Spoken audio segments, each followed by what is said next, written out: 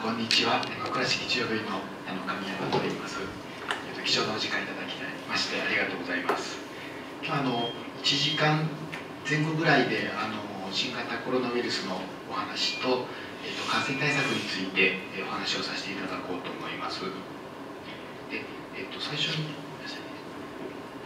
じゃあの今僕はあの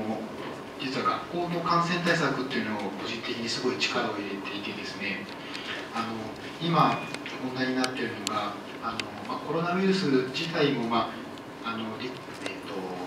ご高齢の方とか基礎疾患のある方ではあのやっぱ死亡率も高くてあの大変な感染症であることは間違いないんですが、まあ、あの皆さんご存知と思うんですけど8割の方は実は軽症で、まあ、ただの風邪で終わってしまうと。でもちろんあの感染症を広げないっていうことすごく大事なんですけれどもあのそこにあの過剰なあの反応を示されて、まあ、過剰防衛から来る、ま、差別だったりとかあの、まあ、防衛のあまり行き過ぎて攻撃的になったりとかそういったところが非常に問題になっていてであの実は今僕があの良くないなと思っているのが、まあ、学校に通っている子どもたちがあの実はものすごく軽症で重症化することもほとんどなくて感染症を発症する人もすごく少ないですけれどなのに学校で大人以上にすごく不自由を強いられているというと、まあ、すごく僕今疑問を持っていてであのこちらの QR コードをですねあのカシャッとしてもらうとあの、えーと、ネット上にあのスライドシェアという形であの僕のあの今日のみたいな感じでスライドをアップしてますので、まあ、ご関心のある方とか子さんがあの、えーと、幼稚園小学校中学校とか、まあ、高校生とかあのお子さんのいらっしゃる方ぜひあの読んでいただいてですねあの子どもにとっては全然負荷のない感染症であるというところもちょっと知ってほしいなというふうに思っています。で今日むしろちょっとだけあのあの1枚か2枚ぐらいちょっと微修正入っているので、まあ、あのちょっと今日のスライドそのものがあの、えーと、欲しいという方はこちらの QR コードをあの取っていただければ大丈夫です、まあ後でアップされるそうなのであのそこでもダウンロードこれ使ってもらったらダウンロードできるかなと思います。じゃあの早速ですけどお話を進めていこうと思います。あの今日お話しするのは、えー、あごめんなさい最初にですねえっ、ー、とあの日本では新型コロナコロナって言ってるんですけど、えっ、ー、と、この病気の正式な名前は病名がコロナウイルスディジーズ2019っていうことで、えっ、と、COVID-19 っていうのがあのちゃんとした病気の名前です。でウイルスの名前が、えー、SARS コロナウイルス2これがウイルスの名前です。あのちゃんとした文献読むともうあの今新型コロナウイルスのいわゆるノーベルコロナバイラスっていうふうにはもう今言ってないので、まあ、日本では新型コロナっていうのが言いやすいのであのそういうふうに報道されてますけれど、えーと、正式な学術的な、えーと、病名とウイルスの名前はこういうふうになっています、はい、じゃあこの4つの内容についてお話を、えー、させていただこうと思います。まずあのコロナの特徴ですね、えーと、日本でも、まあ、あの第2波が来ていて、えー、今患者さんが増えていて岡山県内でもあの患者さんが増えてきていますけれどもあの世界に目を向けると今どうなってるか、えーと、なかなか世界まで見ることは普段ないと思うんですけれども実はものすごい数の患者さんが毎日出てます。ものすごい数で増え続けていますむしろ、えーと、と2月の中国のいわゆる第1波と言われているのがこれぐらいですね。中国で8万人ぐらいの患者さんが出たんですけどまあすごくちっちゃい感じになっていてで3月から欧米を中心に流行が始まったコロナウイルスは今ここまで増えていてですね感染者の数は、えーと、8月12日の WHO の、まあ、ホームページに載っているシチュエーションレポートっていうところにあの報告があるんですけどあの感染者の数はまあ2000万人を超えていて亡くなった方は70万人以上と。で主な流行地は米州って書いてあるんですけどあの南北アメリカ大陸ですね。アメリカとブラジルを中心したところがものすごく患者さんが多くて東南アジアも今増えてきています。ヨーロッパについては大体横ばいで推移しています。で東南アジアで今一番増えているのがインドです、まあ、こんな感じでもずっと右肩あたり今ちょっとプラットーに達してるかなという感じになってきています。でこれが日本のデータで、えっと、8月18日の13日ですね。WHO に載っているホームページの、えー、から取ってきたんですけど、まあ、第1波よりも今の第2波と言われているところの方が基礎の数が多いと。で亡くなっている方の数は1000人ぐらいということになっています。致死率は今2.1%ぐらいですね。でこれが主な国の致死率です、えっと、6月24日の時点ですけれども、まあ、フランスイタリアスペインという国が致死率が高くて中国日本アメリカこの辺り大体5%ぐらいというで、まあ、日本も致死率はまあそんなに決して低いわけではないんですがえー、と今あの 2%, ぐらいまでさ軽症の方が増えてきたので致死率自体は下がっています。これ見られると皆さんちょっとあれと思われると思うんですけど日本ってこんなに高かったっけと思われますよね。日本って一応低いって言われてるはずなんですけど何が低いと言われてるかというと死亡率が低いんですね日本は。あの致死率っていうのは、と、患者さんの数を分母にして亡くなった方を分子にしているので要するに診断されてる人で軽症の方が少ないと致死率見た目上上がるんですね。でこれはの人口10万人あたりの死亡率に、えー、置き換えてみるとあ確かに日本とかこのあのアジアの国々は少なくて、まあ、欧米で多いという、まあ、従来の皆さんのイメージに近い数字が出てきます。こうやって見ると日本は確かに、え、死亡率は低いということになっています。ということで、まあ、現在の拡大傾向になっていて、まあ、全く収束する見込みははっきり言ってありません。これが今現在のあの世界での、えーと、コロナウイルスの動向ということになっています。じゃあのこの病気の特徴なんですけど症状のについては皆さんある程度お分かりかなと思うんですけど、まあ、要するに風邪症状なんですね、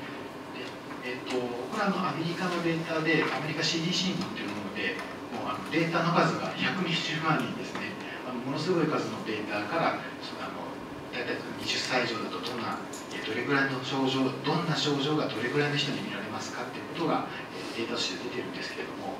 あの9歳以下の小児と、まあ、思春期の子どもたちと、まあ、成人ということで、まあ、分けて出してます。でこれで見てみるとの症状が見られる大体半数ぐらいで、まあ、最も多いのは熱と咳ですね。でも半数ぐらい45割ぐらいしかなくて半分ぐらいの方は熱も出ないということになっています。でその他の症状まあどこもあの、えーと、症状の割合は、大きく変わらないんですけどあの子供特にあの小児に見てみると例えば成人で見られる息切れとか筋肉痛とかあと喉の痛み、頭痛っていう割合が、えー、少し少なくなっています。これは、まあ、症状の、えーと出現自体が低いのかあるいはまあ、例えば1歳2歳も入ってくるのでそうすると喉が痛いっていうのがいので、まあ、そういったところから割合が少なくな少なくなっているのか、まあ、ちょっとどっちか分かりづらいですけれど、まあ、とにかく小児では他の症状の訴えがやっぱり少ないというのは、えー、特徴になっています、まあ、主な症状を上からですね並べてみると,、えーと、熱咳まあ、成人も似たような感じで。で息切れっていうのは基本的な肺炎の症状の一つなのでまあ、この息切れを除いて見てみると皆さん出たことありますよね。風邪ひくと大体どれか該当しますよね。つまりこの初期の症状は本当にただの風邪にしか過ぎないのでで特に小児の場合は軽症で割合があの成人に比べると低いです。なので、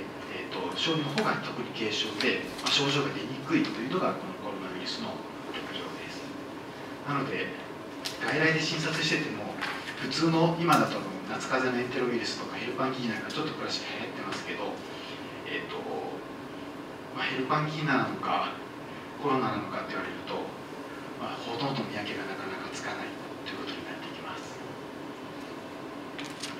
えーと、後発年齢ですね、れ初期の中国のデータです。えっ、ー、と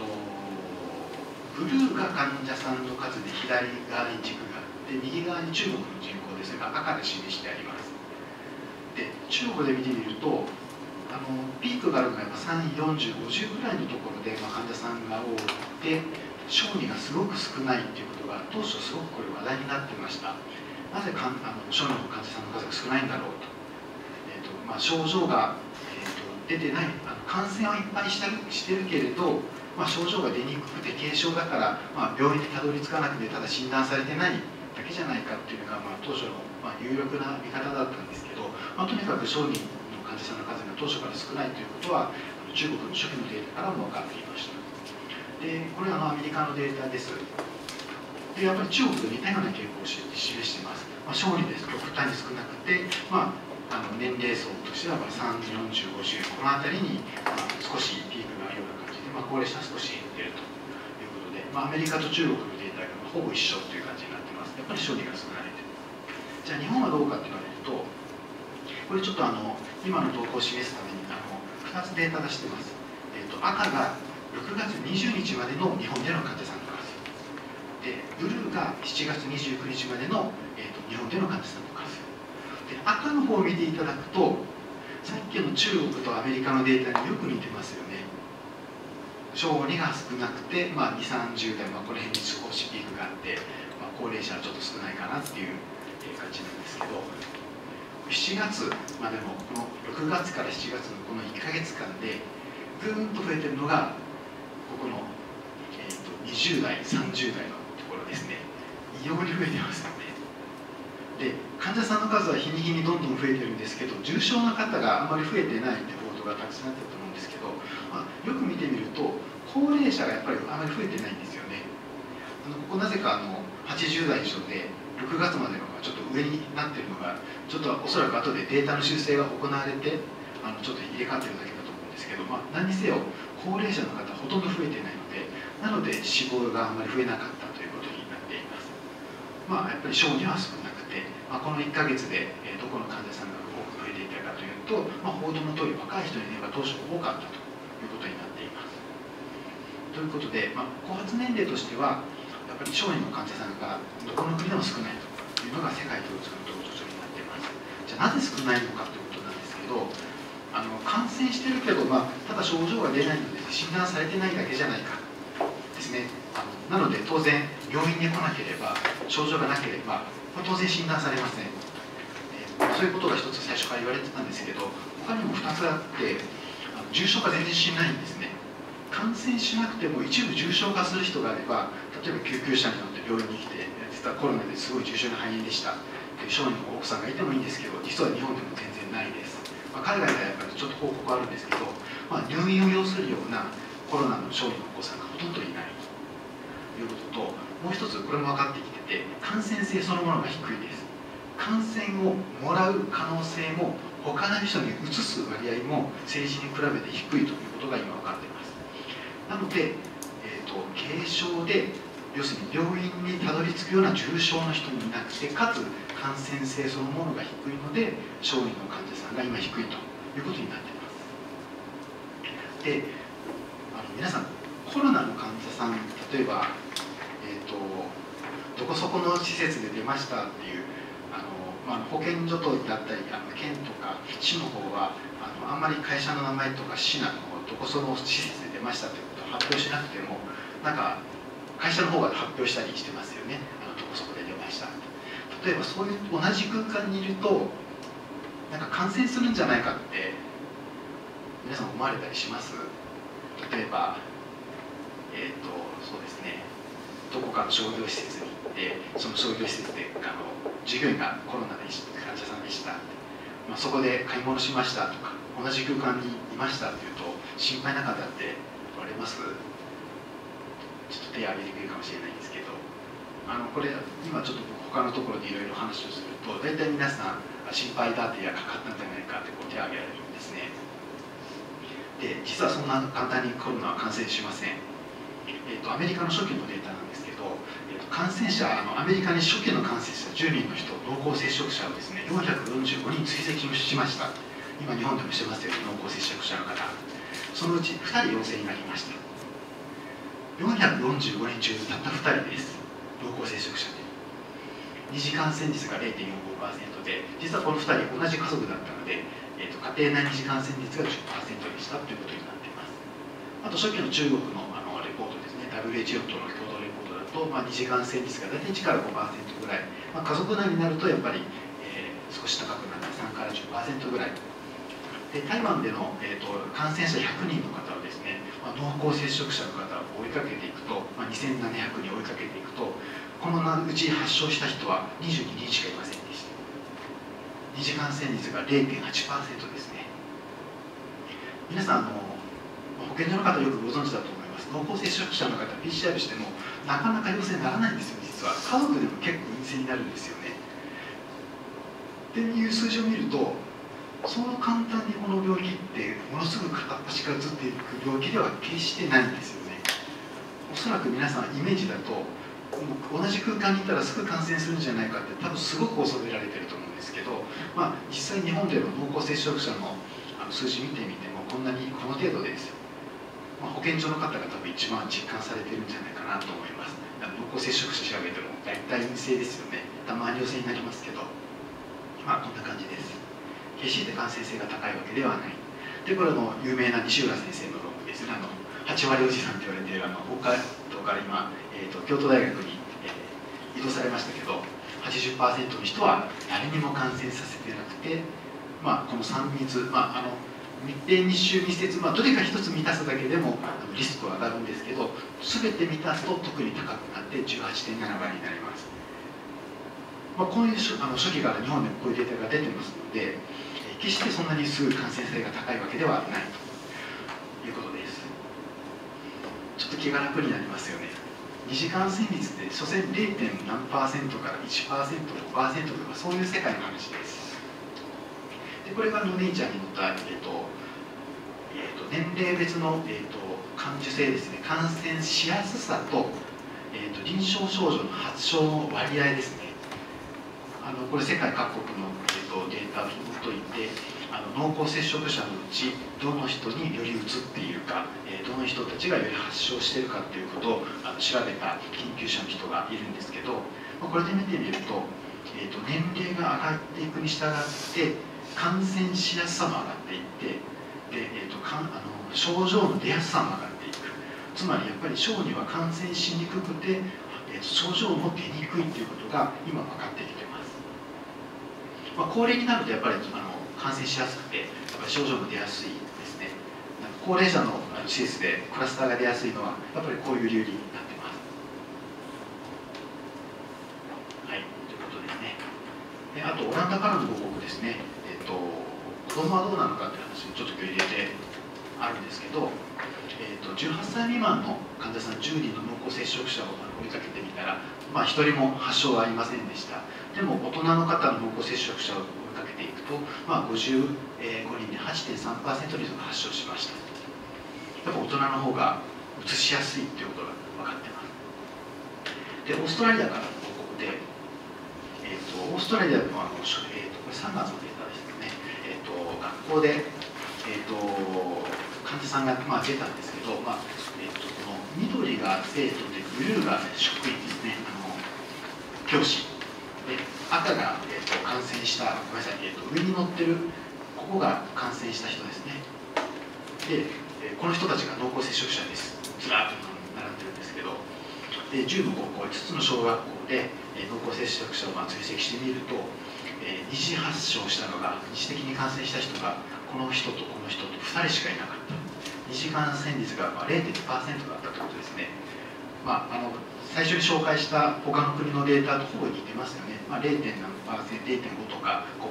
とかっていう数字ですけど学校になるとその数字がさらに落ちるということです、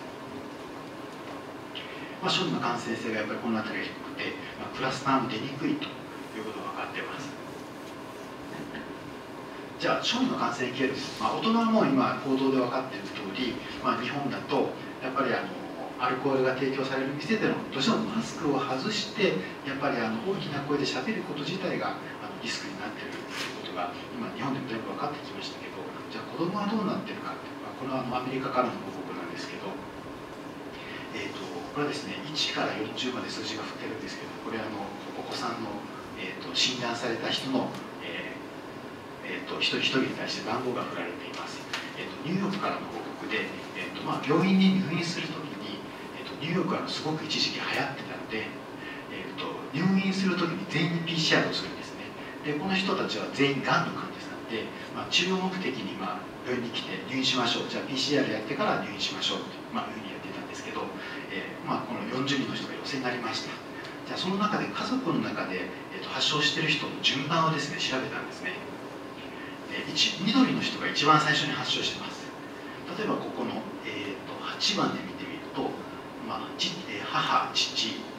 えーと、アダルトシブリンは、えーと、大人の兄弟ですね、えー、この人たちが最初に発症してここが先に発症してますから。そして家族が発症してこの8番の子に感染したということになります。じゃあ逆になのでこの緑が目立つところは先に家庭の中の大人が発症して子供に移したという例ですね。やっぱ緑がすごく目立ちますよね。で赤が後で発症してます。でそれであの子供が先に発症して家族に移した例はっていうのは見てみると実は3つしかないんですね。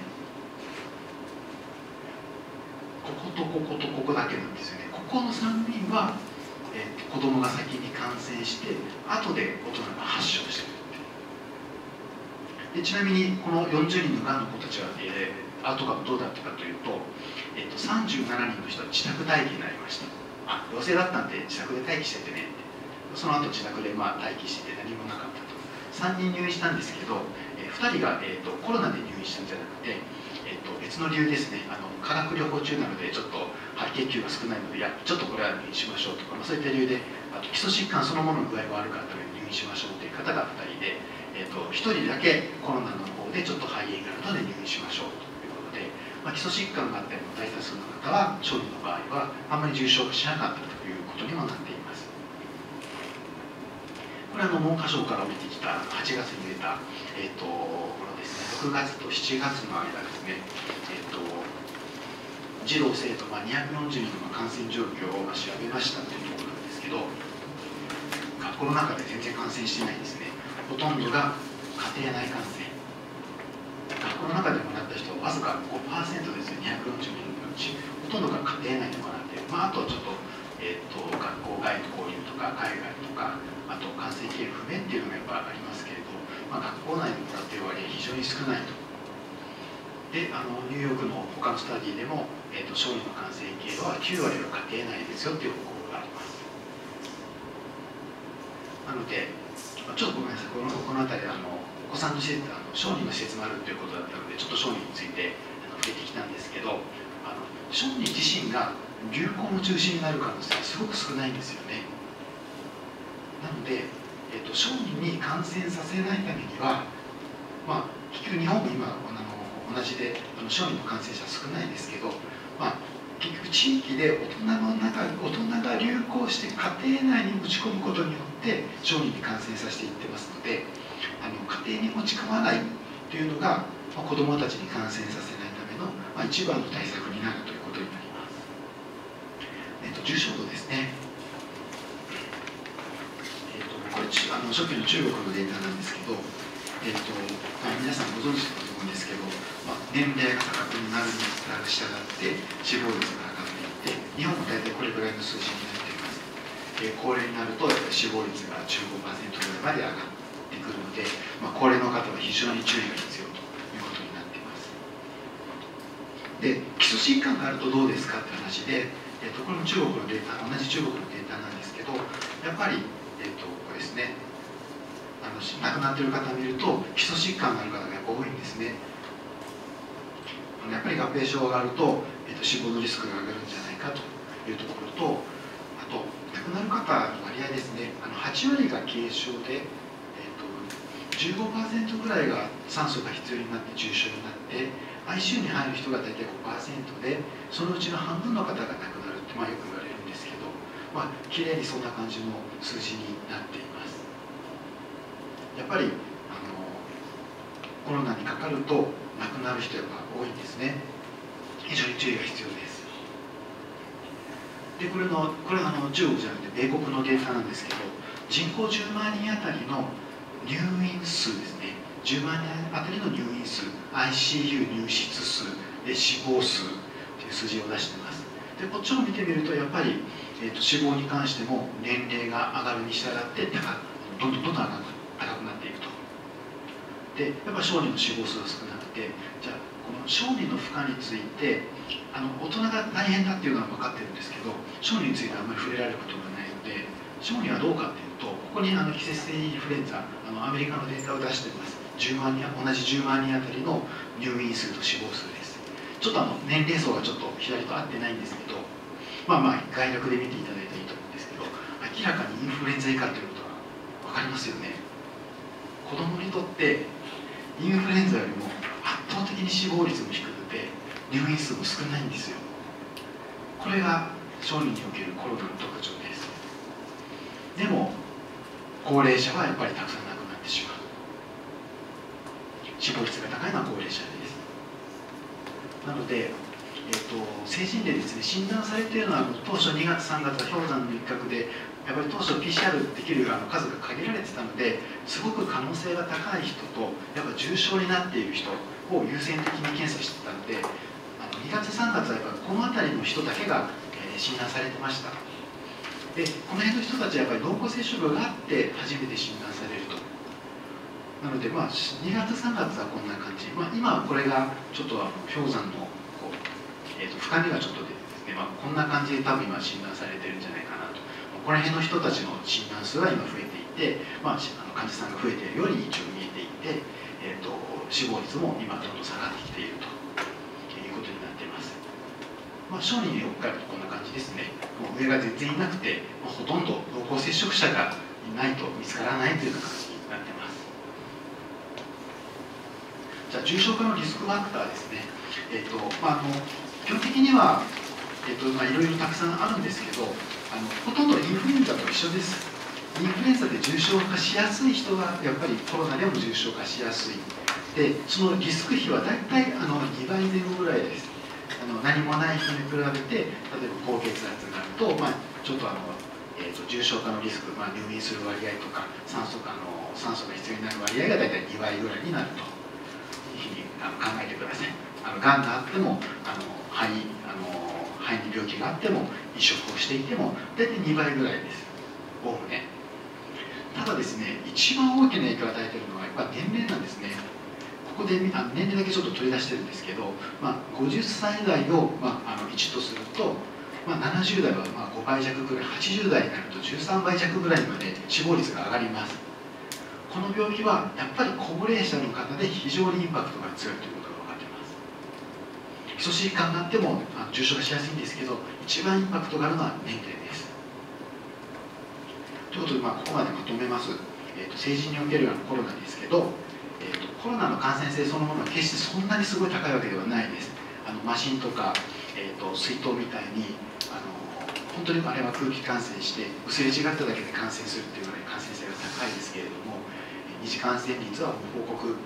実際日本での実感も同じぐらいですけど、まあ、0.5からまあ5%程度で、まあ、8割は感染させてない。で80%軽症15%重症5%が ICU に入ってそのうち半分ぐらいが亡くなってしまう。一番リスクが高いのは年齢で高齢であることが一番リスクが高いというのが成人です。じゃあ小児はっていうと,、えーとですねまあ、感染したとしてもほとんど軽症で、えーと、成人よりも感染性が低くて、まあ、学校内学校、えほとんどが家庭内感染で、まあ、学校での感染のリスクは低い、まあ、流行の中心は大人社会にで、まあ、結局我々が注意しなきゃいけないのは高齢者ですね。あと基礎疾患のある成人ということになります。なので、まあ、学校での過剰な感染対策は明らかにバランスがおかしいんですよね。はい。ということで、えーと、次診断の話をします。診断はあまり皆さんの施設自体ではあまりしないですか？ねちょっと病院が併設されているような施設の方がいらっしゃればちょっとあの興味がある方おられると思うんですけどえっと、基本的にはですね可能性が高い人に PCR 検査をするということになります。あの何もない通行人の人に突然鼻突っ込んで PCR しても意味ないですよね。あのあ何か症状が出ててなんかあの例えば何かリスクのあるあの行動をとってるとかあそういえばあの先週えーと、大阪行ってちょっと飲んできたわとか友達と会って飲んできましたとか言うとあちょっとそういうところで感染したかもしれないなっていうのでちょっとリスクが上がるなで実際その症状ですね。あの最初に出しましたように熱咳あと息苦しさとかあと味覚嗅覚障害ですね。あのこれ全体で現れているのは大体10%ぐらいと言われてますけどあの印象としてはかなり特異的な症状じゃないかとあの副鼻腔炎とかあったりしても耳鼻科の先生にお聞きすると結構な数の方が、えーと、味覚障害嗅覚障害が出るっていうふうに言われてるんですけどコロナの場合は発症してやっぱりあの初期から出るんですよね。副鼻腔炎がないのに味覚嗅覚障害が結構出てる方がやっぱりおられます。なので比較的特異的な症状であのこの症状があるとあの僕もあちょっと検査した方がいいんじゃないかというふうにすごく思います。あと行動歴ですね。濃厚接触があるとかあのどこに行ってましたかとか職業だったりとかあと3密環境への暴露があるかどうかとかあと普段から自粛をしている人と全然自粛していない人あと同居している家族の方に実はこういう症状があるとかそういったところをよく聞き取りをして、まあ、可能性が高いかどうかで検査を決めていくということになります。あのうちの病院基本的にはこういったところで、えーと、可能性の上げ下げをして、まあ、可能性が低い人には検査は基本的にしてません。高い人に検査を行うということにしています。で PCR の感度ですねあのこれ正確な感度わからないんですよ。感度っていうのは陽性の人をちゃんと陽性に診断できる割合っていうことになるんですけどおそらく、まあ、みんな大体70%程度じゃないかって言ってるんですけどまあ、なんとなくそういう感覚で言ってるだけで報告から言うと大体50から70%ぐらいじゃないかなと言われています。あのさっきのあの、えーと、40人のあのニューヨークであの子どもの入院地に PCR やったら40人の人が、えー、陽性になりましたよという研究なんですけどあの、まあ、111人濃厚接触者が出てですねあの濃厚接触者の人であのそういうコロナっぽい症状が出た人がまあ60人いました、まあ、多分普通に考えたら濃厚接触があって症状が出てたら、まあ、コロナだと思うんですね、まあ、そのうち PCR やって陽性になった人は、まあ、46人で、まあ、感度っていう意味ではこの人が全員陽性だと考えたら76%ぐらい。ということになります。あとこれですね PCR であの80人の人ですね、まあ、結局陽性になりましたで。何回目 PCR で陽性になったかっていうのはあの中国のデータなんですけど1回目で5割ぐらい2回目で 37%3 回目陽性がまあ11%ということで、まあ、初回だけで陽性になる人はこの研究では 5, 5割でした。3回繰り返すことでまあ100%になったということですね、まあ、1回目の陽性。いやこの人可能性が高いから出ると、まあ、再度陽性になって3回目まで出ると、えー、さらに10%ぐらい広げた。まあ1回目だけを、えーと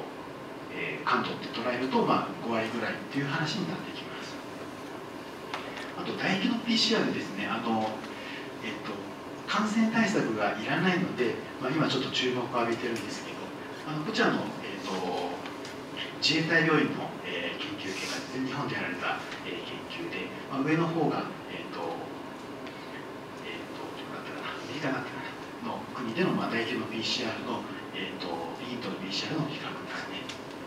えっと、こちら見てみるとあの自衛隊病院もそう一緒なんですけどえーと、初期はですね結構あの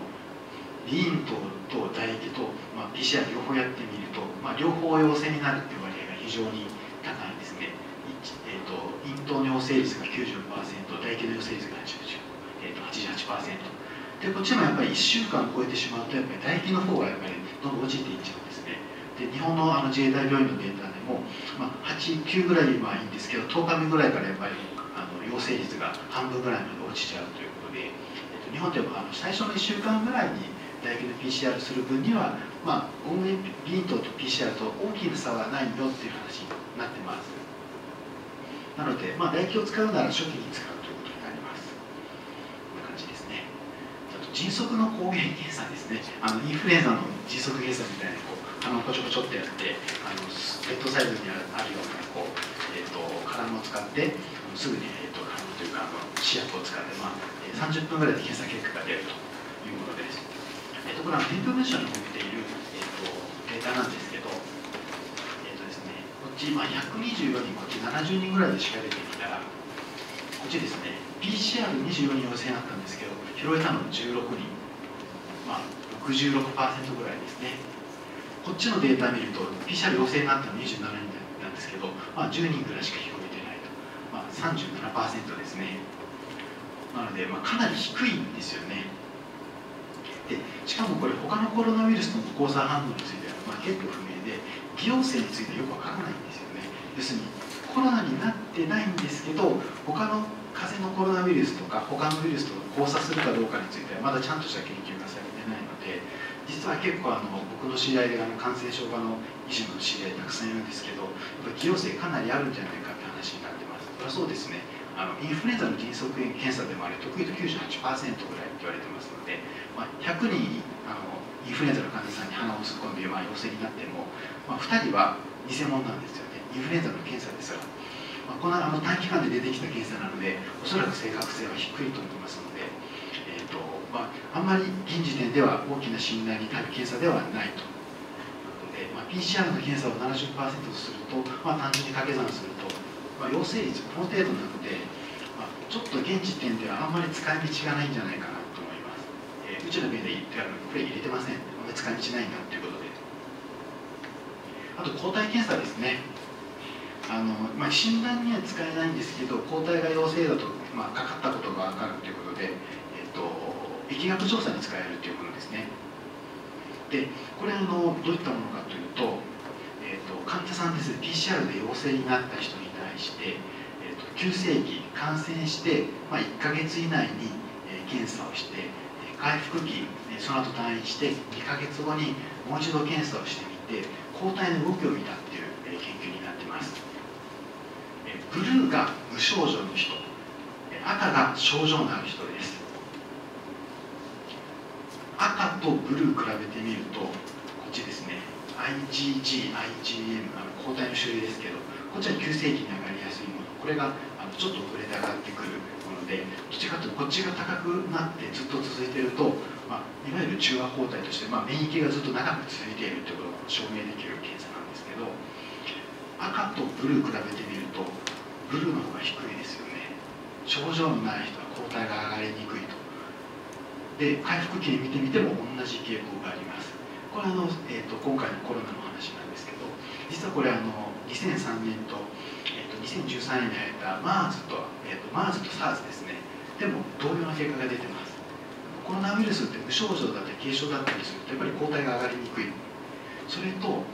えー、とここですね。2ヶ月経つと下がっちゃってるんですよね。こんなにおそらく抗体は長く続かないだろうと。もともとコロナウイルスって修正免疫がつかないウイルスというものが分かってますので、まあ、残念ながらちょっとこの結果を見ると一度かかった人もまたかかるということが分かります。で実際、えーと、香港とかベルギーとかからあの再感染してるっていう報告が今もう出始めています。実際に。ので残念ながら一度かかっても、えー、かかってしまうというのがこのコロナウイルスですね。なので、まあ、基本的にはあの今ビントで PCR をするっていうのが、まあ、一番確実だと思います、まあ、感染対策上やっぱりあの感度ですね。あの、えーと、陽性の正確さよりも陽性の人をなるべくあの正確に拾い上げられる方がいいですよね。なので、まあ、基本的には PCR で診断をしていくっていうのがまあ原則かなと思いますあと、え感染性ですね、えーとまあ、ここを理解しないと感染対策できませんので、え基本的には、えーと、飛沫感染と接触感染で、えーと、飛沫感染の方が重要です。でこれは感染性のあの比較でえーと、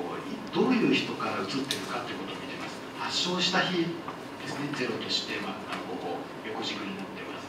で、えーと、例えば発症して2日目の人誰からもらってますかっていうと発症前の人からもらってる人が多いというふうに見ますこれ。で感染してる人のまあ45%は結局発症前の患者さんからまあたくさんもらっていてあと無症候性の感染者の方がまあ、えーと、5%ぐらい、まあ、合わせてあのこの人は最終的に症状が出ちゃうんですけど、まあ、あの50%の人は45たすこの50%の人は症状がない時期に他の人にうつしてると。いうことなので結局ここの感染を防ぐためにはマスクを常につけてないと防ぎようがないということで今ユニバーサルマスキングが必要ということになっています、まあえっと、症状のある人がうつす割合がまあ大体4割ぐらい。であの環境からうつっている割合がまあ10%ぐらいじゃないかというふうに言われています。なので、まあ、重要なのは飛沫感染、接触感染、あと、まあ、環境からの感染ということで、えーとまあ、あのここはあのなるべくあの消毒をして、まあ、環境消毒コーヒーと接触面はなるべく消毒しましょうというふうに言ってますけど、まあ、そこのリスクは一番低いということになります。じゃあいつから感染性があるのかちょっとお手元の資料とちょっと違うと思いますグラフが。あのなんでかというと,、えーと、ちょっと直前であの多分こういうグラフになってると思うんですよね。お手元のグラフ、えー、と実はもう論文が書き換えられ書き換えたというおかしいですね。修正が入ったんですあ書き換えたわけじゃないですね。修正が入りました。あの他の読者からちょっとデータあの計算の仕方がおかしいんじゃないかということで指摘が入ってあそうだねっていうことで修正が入った。あの論文自体はまともな論文ですでこれ見ると発症する23日前から感染性があるんですね。今2日前っていうことであの必死こいて調べてると思うんですけどあのその論文読むとですね結構前から移してるっていう話があるんですよ。こんなの1週間前からとか言われたらもうはっきりと追い切れないんですよね、まあ、こんな感じであの発症した人をあの日を、えーと、ピークにして、まあ、全国結構対象な感じで、えーと感染性があるということに今なってます。なんかちょっと2日前まで遡ってなんか追いかけていくのがなんかちょっと虚しくなってくるようなデータなんですけど。の残念ながら結構前から感染性があるんじゃないかということに今なってきています。じゃあいつまで感染性があるのかということなんですけど今大学基準が発症して10日経ったら退院していいよということになってるんですけどこれはのウイルス培養の、え結果を出してます。これ発症した日をゼロとして発症後の日数が書いてあってえーと、ウイルス培養なので PCR って死んだウイルスの検査しても陽性になっちゃうんですね。あのタンパク質をあの取ってきてその遺伝子を増幅させてるだけなので生きてようが死んでようがあの PCR はあの遺伝子があれば陽性になるということなんですけどウイルスの培養は生きてないと培養で絶対増えないので、えーと、これはいつまでウイルスが生きてますかっていうことを示した研究ということになります。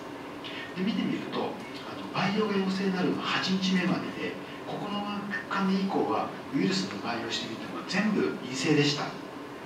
つまりウイルスが生きているのは感染して体内に生きてるのは8日だ。あの8日目までで9日目以降は生きたウイルスを検出することがこの論文ではできなかったということなんですね。つまり試験管の中でウイルスがいつまで生きてるかっていうのを調べてみたら8日目までで9日目以降は生きたウイルスを見つけることができませんでした。なので、感染性は、ま、8日目までだろうというのがこの論文の結論ということ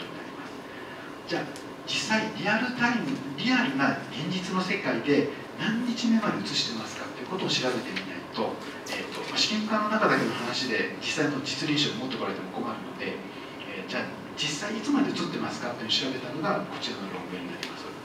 えー、これ台湾からの論文であの100人ですねあの、えーと最初あの最初のスライドにちょっと出したあのデータと一緒なんですけど100人の濃厚接触者2700人を追跡調査していきました、えーと、発症してこ,、えー、こっちはの全ての患者さんこっちは家庭内かあの接触者の患者さんで、えーと、発症してからの、えー、こっちがですね暴露日数ですね。暴露して6日目7日目こっちも6日目7日目になるとえー、移してる人はですね全然ゼロなんですね。この水色のこの折れ線グラフが、感染してあの発症した割合なんですけど、えー、暴露して6日目になると、えー、他の人に誰にも移してない。この棒グラフは、えーとえーと、暴露した人の人数ですね。つまり、えーと追いかけてみると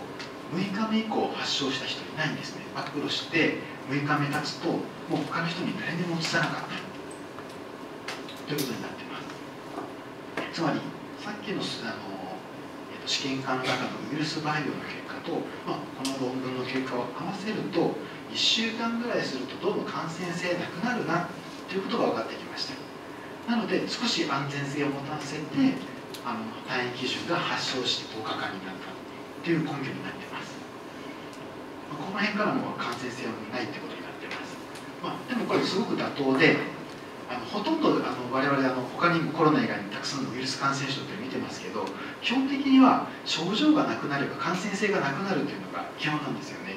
皆さんの風邪ひいて、まあ、咳したり熱が出たりすると思うんですけど熱が下がって咳も出なくなったら外を出歩きますよね普通に。で誰かにうつすなんて普通思わないじゃないですか。常識的に。おそらくコロナも同じだと思います、まあ、それでも一応1週間ぐらいがおそらく感染性があると。で、まあ、発症して10日も経てばもうこれはもう十分安全だろうというふうに今考えられています。で、えーと、ちょっとあの事前にいただいた質問で、えーと、新型コロナウイルスで、えーと、陽性になってもあ陰性になっても数日後の再検査で陽性になることが、えー、あると、まあ、体調不良を起こした場合隔離期間どれぐらい必要ですかって、まあ、事前にちょっと質問いただいたんですけど、まああのえーと、これコロナウイルスの可能性が高いかどうかというところ、まあ、もちろんあの変わってくるんですけど例えば濃厚接触者であのあれば、まあ、あとあの味覚障害もあっていやそれコロナじゃないのっていうぐらいあの可能性が高い人、まあ、それとも PCR やっても感度が5割から7割ぐらいなんで、まあ、必ずしも全員陽性にならないんですけどいやそれコロナでしょっていう人はあの発症して10日間やっぱりあの、えーと、隔離というか例えば職員であれば、えー、自宅待機、患者さんとか、え、であれば、え、10日間は、えーと、院内でも隔離するっていうのが必要かなと思います。それほどでもないんだったらまあどうかなそんなコロナっぽくはないなっていうんだったら、まあ、症状が改善するまで、えー、まあ、隔離か、まあ、自宅待機をしてもらう、まあ、うちの病院でも職員は何か風邪症状があれば基本的にあの欠勤してもらってあの高級で来ないように、えー、と出勤停止にしてあの、えー、とコロナっぽければ、まあ、もちろん PCR 検査するんですけどそうでなければ症状が収まれば来てもらっているということにしています。えーとまあ、以上踏まえて、えー、どのようにして感染対策を行っていけばいいかということなんですけど基本的にはあの飛沫感染が一番重要ですのでこれはマスクをすることでしか防ぐことができません、えー、発症前無症状の人からも感染するので、まあ、常にマスクをつけてくださいであと接触感染対策も重要ですのであの手指衛生を行って、えー、適切な個人防護服を、えーとまあ、施設のではつけると、まあ、あと環境の消毒ですね。あの環境中からの感染は10%あるということなんですけど、えーと、ただこれちゃんと手指衛生できてれば別に環境を消毒する必要はありません。別にあのここにウイルスがいて、まあ、触ってもですねその後手指衛生シュッシュッてやれば別にもうそれでリセットされますのであのしごいてあの毎日高品質接触面をあのそこら中消毒する必要は基本的にはないと思います。あの別に病院でもあの町屋に患者さん座った椅子をですね患者さんが立った瞬間にああって言ってこう消毒なんかしてません。あのそこまでやってません。多分普通の企業とかでもあの毎日あの会社でコーヒーと接触面を毎日毎日こう消毒してるとか多分あんまないと思うんですよね。そんなこと言ってると電車のつり革も触れなくなりますから基本的にはそこまでする必要はないと思います、まあ、あと有名なところですけど、まあ、距離のあるベタンス、まあ、できれば2メートル、まあ、無理なら1メートルというところですね。あと全ての密を避けであの水際対策というのは施設の中に入れないためには症状のある職員は出勤しないということが重要ですし、まあ、家族に症状があったらやっぱりちょっと注意をあの注意を一段階上げて対応することが必要かなと思います。あとこれもあの院内でもよく質問があるんですけどあのサージカルマスクと N95 マスクであの皆さん N95 マスクをすごくつけたがるんですね。ないですか？そういうこといや N、まあ、あの今 N95 はもうなかなか入手困難なので、まあ、基本的にサージカルマスクで対応してくださいということに今、まあ、もちろんなってるんですけどえー、とこれあのえ、ー、とまあ、ウイルスコロナじゃないんですけどウイルス感染症に対してですね、えーと、サージカルマスクと N95 マスクで、えー、どっちが予防できますかっていうことを調べた論文なんですね、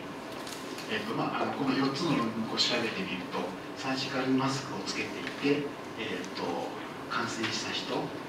えーと、発症した人っていうのがこう、えー、載ってます。つけている人でそのうち発症した人つけていて発症した人比べてみるとほとんど変わらないんですね、えーとまあ、比率を比べてみると大体1前後ぐらいになっていてこっち側に行くと N95 つけた方がいいよとこっち側に行くとサージカルマスクがいいよってことなんですけどほとんど変わらないんですね。N95 だろうがサージカルマスクだろうが感染性の予防効果はほとんど変わらないということになってます。まあ、あと N95 ちゃんとつけれる人少ないんですよね。あのあれちゃんとあのえーと、練習してフィットテストしてちゃんとあのしっかりつけてられてられるかというか確認も必要なので、まあ、基本的にはちゃんとサージカルマスクをつけるということが重要だと思います。あとウイルス環境中のウイルスの安定性ですね。あのこれはコロナのデータで、えーと、環境中でどれぐらいウイルスが残ってますかっていうのを調べた論文なんですけど、えーと、例えばエアロゾル中だと3時間残ってるっていうんですけど例えばこれ半減期があの1時間なんですよね。まあ、3時間で残ってるというと、まあ、ものすごい微量で1時間経つとウイルス半分になるんですよ。なのでもう半分になっちゃったら、まあ、それにえーと、感染性があるかというとまた別ですよね、まあ、ウイルスが例えば最初僕がかかっててくしゃってしてエアロゾルが出てあごめんなさいエアロゾルといってもあの大きな飛沫と小さな飛沫も全部これ合わせて今エアロゾルっていう正正確にあの言うんですけど、えー、例えば3時間経っても、まあ、あのウイルスが残っているんですけど、えーと、1時間経つと、まあ、100のウイルスがいるとすると、まあ、半分になっちゃうんですね50。50になるとそれが他の人に移す能力があるか人に入ってあの十分なウイルスの量が入らないと感染って成立しませんので、まあ、イコール感染性があるってわけではないです、まあ、でもおおむねまあ1日2日ぐらい経つと完全に消えてなくなると。いうことで、えーとまあ、そんなにもう1日経つと多分意味のある数字にはならないので、まあ、毎日消毒する必要なんて多分ないと思います、はい、じゃあ最後ですねあの感染対策についてえー、お話いこうと思います。なんかあの感染対策で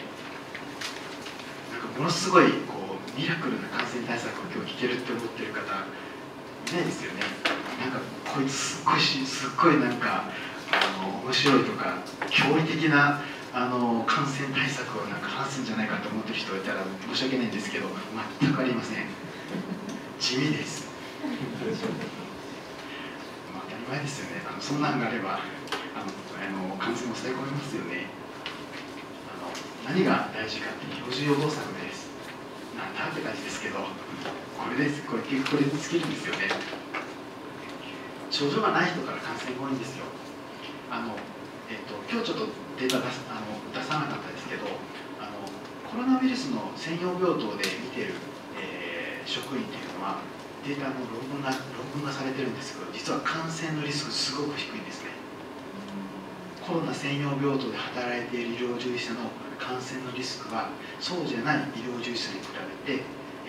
感染のリスクは半分になると言われています。あのニューヨークとか中国からのデータがそういうふうにあの証明されているんですけどなぜか、えーと、目の前の患者さんは、えー、コロナウイルスと分かっているのでちゃんと感染対策するからです。すればリスクは減ります。でも違う病棟はコロナかどうかわからない患者さんが、まあ、ニューヨークとかちょっと紛れ込んできちゃうんですね。そういうところでちょっとやっぱ感染対策が甘くなるんですよ。そうするとそういうところでもらっちゃうと。ということで、え、実はあの、えーと、そこの感染を緩めないガードを下げないというのがだから重要になってくるんですね。もうあのコロナだって分かってれば、まあ、誰でもそうですけど患者さんと分かってればちゃんとするじゃないですか。してればかからないですよね。2次感染率所詮0.5%とか数パーセントの世界ですので感染対策したらちゃんと防げます。なので本当に標準予防策っていうのが重要でで感染経路を意識することが重要ですね。感染経路一番多いのはマスター飛沫なので、えーと、必ず、えーと、マスクをするということが重要なんですけど、えーと、まず施設に持ち込まないというところですね。症状あれば休んでください。日本人できないと思うんですけどあのうちの病院だと鼻水咽頭痛熱がなくても休んでもらうことにしてます、えっと、最初だからどれぐらい出るかなと思ったんですけど、まあ、うちの職員が大体4 5千人ぐらい多分いるんですけど、まあ、毎日大体、えっと、初期で2月3月ですかね、えー、あたりは毎日45人ぐらいの方があの感染呼吸という形で提出されてました、まあ、今は1人2人多くて23人ぐらいですから今はちょっとやっぱりあの風邪症状出る方少ないですね、まあ、やっぱ冬はちょっと多かった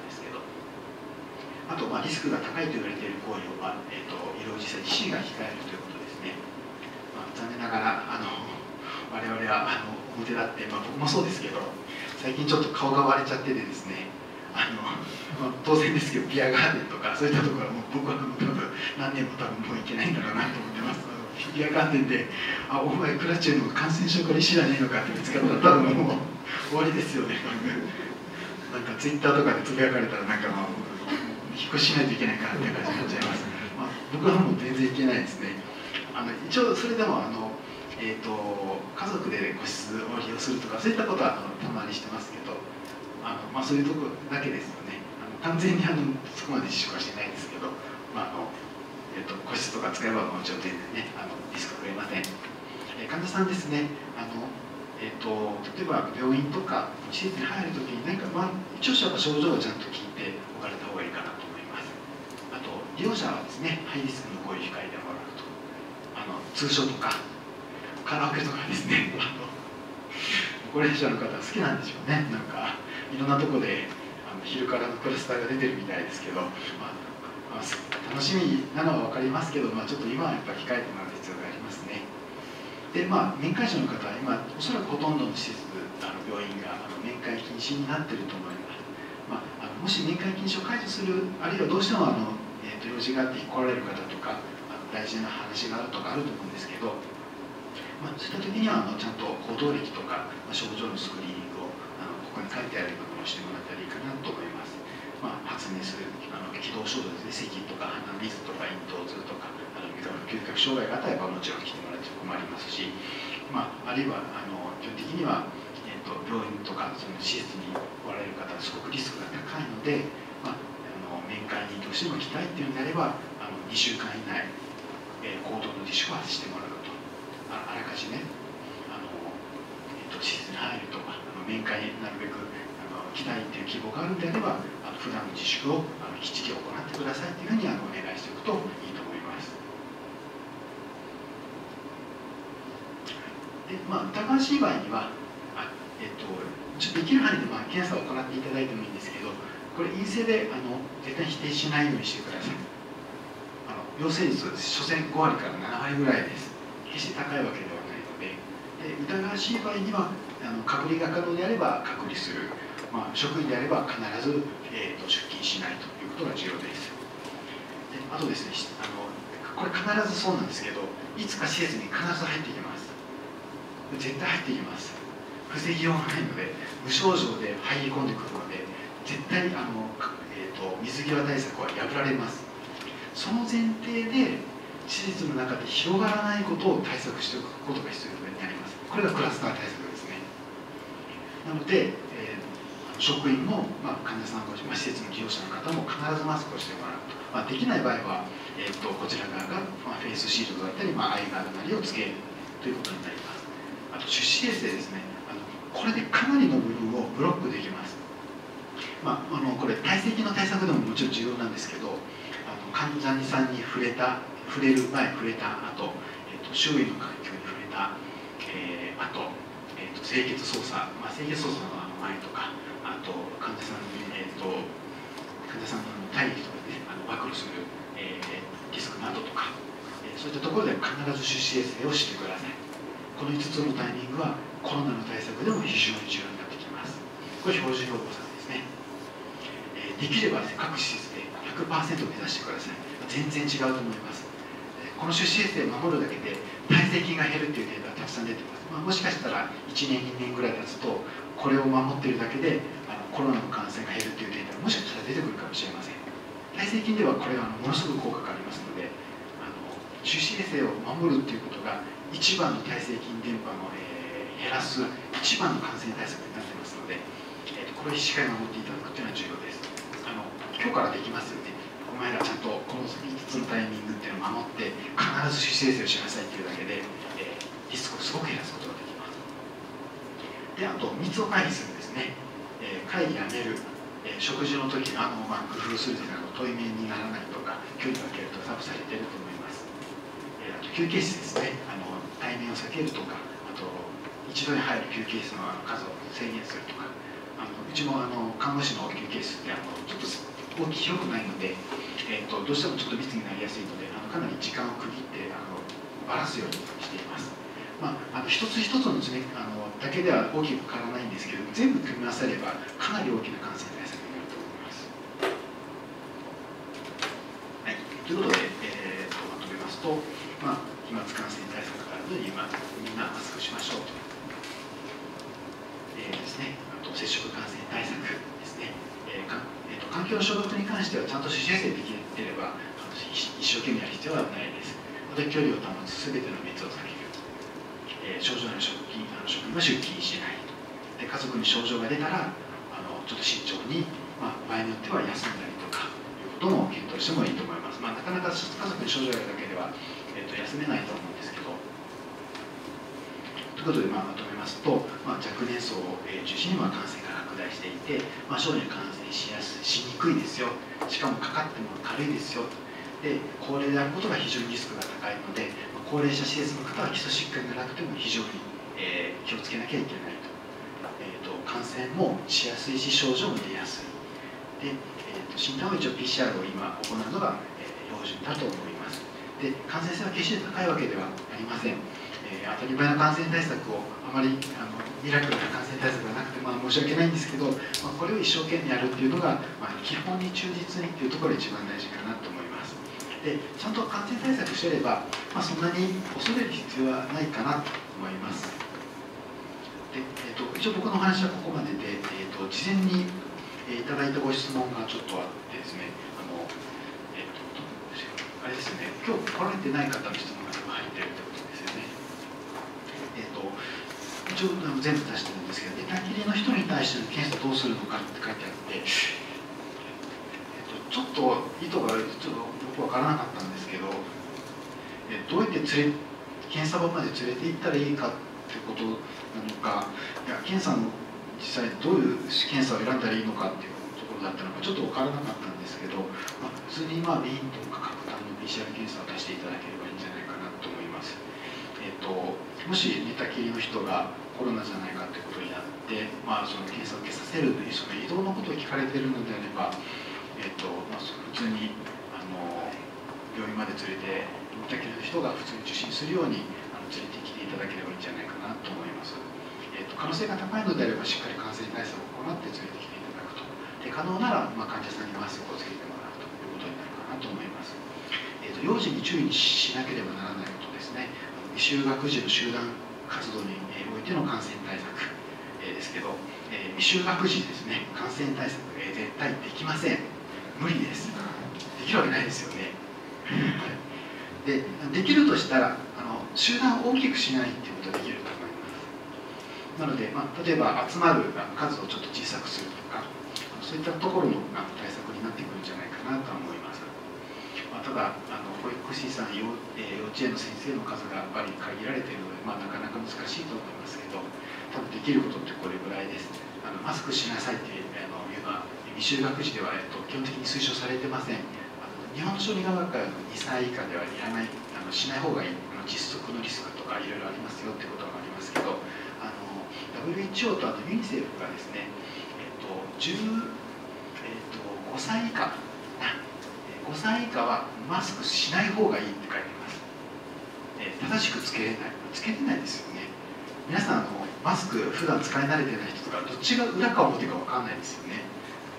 どっちが表だろう裏だろうって多分迷われたことあると思うんですよ。そんなの子供だって迷いに決まってます。なので、えー、1回外してつけるともう1回つけるときに裏表間違えちゃったら大変なことになりますよね、えーと、マスクつけていると子供気になってたくさん手で触っちゃうかもしれない。そしたら余計感染リスクが増えるかもしれない。あと子供でマスクをすることによって感染が減るというデータもまあ全然ないので基本的には子供には、えーと、マスクをする必要がないということが、まあ WHO とユニセフからもちゃんと推奨が出てます。はいですね、え新型コロナの、え感染対薬剤効果とか種類ですね、え何がいいですかって、えーと、アルコール界面活性剤とか、えーと、背面ハイターとかは全て有効なので、まあ、あの家庭用洗剤にあの普通に使っているものでいいんじゃないかなと思います。はいえーと、クラスター予防について、えーとあのまあ、具体的なところであのお話しないとちょっと難しいと思うんですけどあの、まあ、基本的には集団を小さくするのとあの交差するところを場面を減らすっていうのが基本です。なので会議っていろんな部署の人が集まるので、えーと、そこで交差するのでクラスターのリスクになると。厚労省のクラスター対策案からあの会議クラスターっていうのがねあのリスクとしてあの言われてますけどそういった交差することがやっぱり、と、良くないのであとと、集まる数を減らすっていうのが重要ですね、えーと、通所介護として特に注意すべき点があれば聞きたい、まあ、これもあの、えーと、通所介護で、えーと、施設でなんかいろいろレクリエーションしたりとか、まあ、多分あるんだと思うんですけど、まあ、その集団を小さくしたりとかですね、えー、とマスクをあの皆さんチェックをしてもらうと,、えー、と手指衛生を徹底すると。あと食事の時にはまあ十分に距離を取ってもらうとかそういったことになるかな。えーと、日々の感染予防としてどこが不適切になりやすいか、えーと、手指衛生の判断ですね。あの今日うちのデータ出してないですけど、えーと、手指衛生の遵守率って日本の平均っておそらく40から60%ぐらいです。さっきの5つのタイミングでこの場面でやらなきゃいけないのにやってる人って大体半分ぐらいです。うちの病院が2016年から手指衛生の遵守率をモニタリングしてるんですけど2016年の純粋率は60%でした。今75%ぐらいです。病院の中でやりなさいやりなさいやりなさいって言ってできている手指衛生の純粋率が75%まあ、えーと、10回に、えーと、あると2回はできてないですね。そんな感じです。なのでそういったところが、えーえー、不適切になりやすいと思います。あと日本人会議好きですよね。あの会議やめた方がいいと思います。あのほとんどメールでいいとか伝達で済むような会議であのうちの病院でもあれあれですけどなんか実際始まってみるとあこの会議で必要だったんかっていうのはよくありますよね。あの会議減らした方がいいと思います。はい。ということで、えっと、もしご質問とかご依頼とかもしあれば、えっと、こちらまでメールをいただければお答えしますのであの今日ご参加されてなくてあの後日動画を見られて、えっと、こういうのはどうなんだろうと来られたら、えー、こちらにメールしていただければあのお答えします。ちょっと平日しかちょっと対応できないんですけど、土日出勤してるときは対応できますけど、これは病院のアドレスなので、えーと、24時間ではちょっと対応難しいので、ちょっとお待ちいただければと思います。